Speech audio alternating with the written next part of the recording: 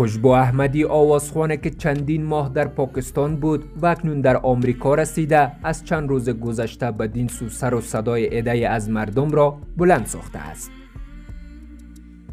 این زن آوازخوان با گرفتن پرچم سه‌رنگ و بلند کردن آن غوغا برپا کرده اما اینکه او با بیرق چه کرده در ادامه با ما باشید. اما قبل از آن برای دوست شدن در کانال ما علامت subscribe را فشار بدید. خوشبو احمدی از سالها بدین سو آواز می‌خواند و در مجالسی که از دید اکثر مردم بودن یک زن افغان در آن لازم نیست اشتراک می کند.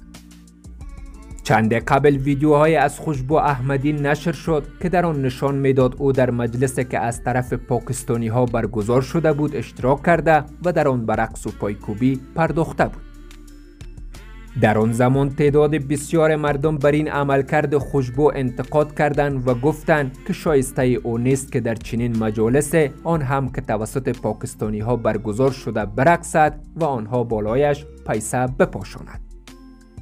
در آن زمان خوشبو احمدی گفته بود که او صاحب چندین کودک است و مجبور است که در چنین مجالس اشتراک کند و از آن طریق پول کمایی کند. در تازه ترین مورد تصاویر و ویدیوهای از اون نشر شده که نشان می‌دهد بیرق سیرنگ را در آغوش گرفته و تصاویرش را در صفحش پخش کرده است.